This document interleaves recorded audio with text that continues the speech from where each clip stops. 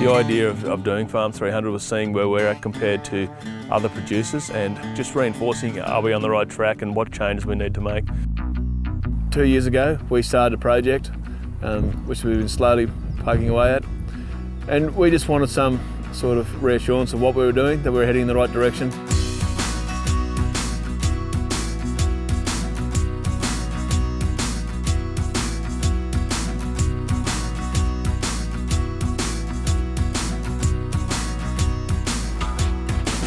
And we've been able to do that with um, Farm 300.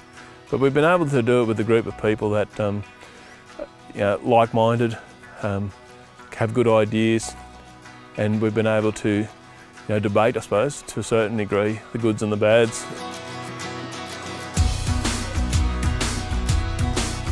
The approach is at Dunkeld Pastoral is that they want every animal to be productive and, and producing them something every year.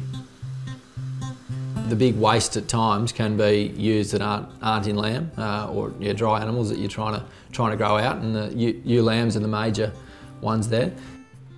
On a lot of enterprises they're not lambing until they're 24 months of age and, and they're trying to push the system a little bit and lamb them at 14 months of age and they're getting good, really good results.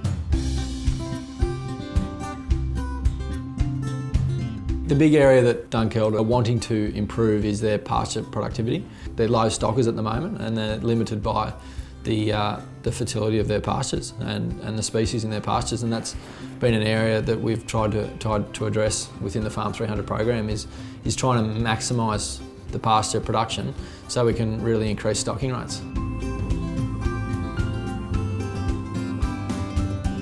One of the biggest things has been looking after your pasture drought lots and, and feeding lots um, and able to spell pasture and especially next year I think we'll end up with um, better utilisation of our assets to, to utilise our pasture and, and, look after it for the long term so that we're not you know, going in and replanting new pastures every six or eight years but actually getting 15, 20 years out of a pasture system and to look after it and, be and benefit the whole, the whole system.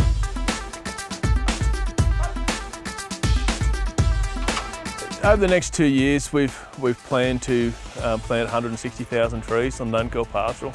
So I'd like to think that we'd have a lot more shelter belts, a lot more ecosystems in place, um, for want of a better word, more rivers fenced and more creek lines looked after. I'd like to think that we'd um, we'd be humming a bit better as far as um, number of lambs weaned per hectare. I think um, we're certainly on the right track for that.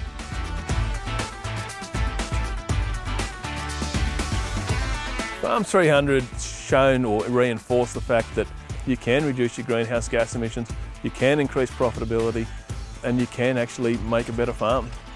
If you asked me six or seven months ago, could it be possible, but I've gone no, um, I don't think so. But now that it's been explained to us, it just makes perfect sense. All the little one percenters, whether it's genetics, whether it's feeding ewe lambs, whether it's you know, trial feeding or feedlot feeding or drought lots or you know, adding more trees or better pastures, like you put all those little things together and they all add up and you're able to achieve you know, less greenhouse gas emissions and more profitability.